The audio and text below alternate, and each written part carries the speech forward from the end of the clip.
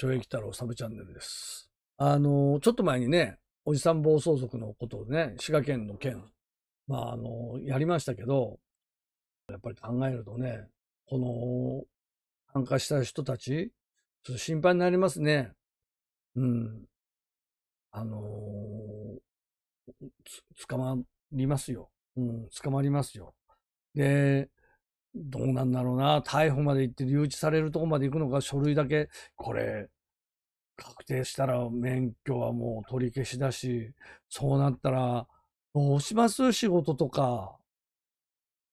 うーん、あの、今ね、警察、そんな昔みたいになんか追い詰めて、なんか捕まえてやろうなんてしませんよ。全部録画して、まあ、ねえ、顔も隠し、体を隠し、まあ、バイクの装飾を変えてっていうことならわからないかも、全員が全員逮捕とはならないけど、あの、簡単じゃないですよね。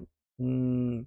まあ、あの、これだけ大きなことになっちゃってると、ねえ、ちょっと心配ではあります。だから、だ、だ、ダメなんですよ。そういうのはダメなんだけど、じゃあ、犯罪の質ということであれば、その、まあ、誰かを怪我させたわけでもない、誰、何かのものを取ったわけでもないっていうことなんで、実質的な被害者がいる事件ではないんですよね。ただ、まあ、その時に、走行中の音だとか、巻き込まれた車の方たちに関しては、あの、それは不快な思いをしているわけですけど、何か実害があって、まあ、怖かったっていうことでありますけど、まあ、あるんだろうけども、何かの直接的な暴行があったわけでもなければ、そこまで重いっていう風ではないんですけど、まあ、あの、非常に良くはないし、追悼ということで、みんな、あの、集まってください。喧嘩だけ。要するに、そのコースで事故をして亡くなったっていうことだと思います。私もそれを関係者から直接聞いたわけじゃないので、あの、ここは想像なんですけど、なんで、お花は置いてもいいです。だけども、食べ物とか、飲み物とか、タバコとかは置かないでくださいというようなラインを回しているわけですね。一見、そういうことってすごく親切、あの、親切っていうか、ちゃんとしてそうに見えるんだけど、結果としてこんなことになっちゃって、350代近くで犯罪行為を行ったっていうことなので、その犯罪行為を促すメールになってしまった。これがしっかりした証拠になってしまうと。声をかけて集合させて、で、それがうまく伝えればいいんだけど、それがまあ、転送なって、転送なって、口伝えになって、もう、その本来の趣旨がわからないような方たちまで来て、集団で暴走。1台、2台ならまだ交通ルールを守るのが3台が4台、5台になり、ね。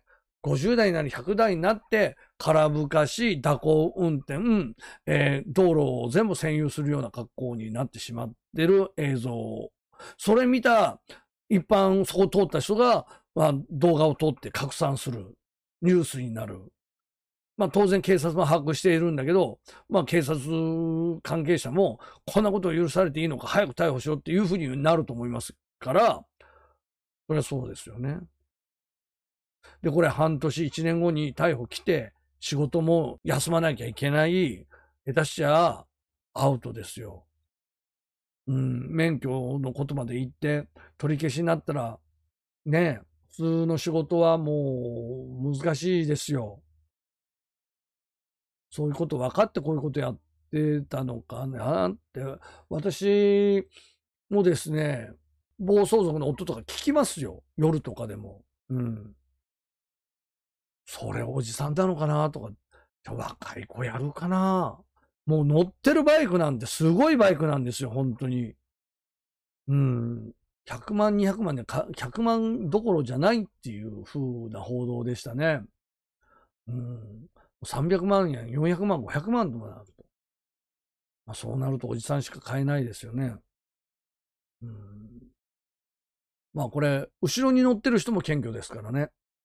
運転してるだけじゃないですよ。後ろに乗ってる人、えー、場合によっちゃ、生やし立てるようなギャラリーもダメなんですよね。うん。まあ、後ろに乗ってる人も、車だったら、えー、助手席や後部座席に乗ってる人も同罪というふうになりますので、結構重いです。はい。まあ本当に、これ自首してどうこうなるのかな自首すりゃいいってもんじゃないよね。うん。示談つったってどこと示談するんだって話になっちゃうから、犯罪傾向としては被害者がいないんだけど、逆に言ったら、それをどうこう、うまく収める方法もない。ね。被害者がいるなら示談するなり、えー、保証するなり賠償するなりって何をどうすればいいのかっていうことですよ。それとやっぱり、その、地域に対してその滋賀県のね、イメージが非常に悪くなる。じゃあ滋賀県ってその暴走族がすごいんだっていうふうになっちゃうので、これは良くないっていうことですよね。はい、以上です。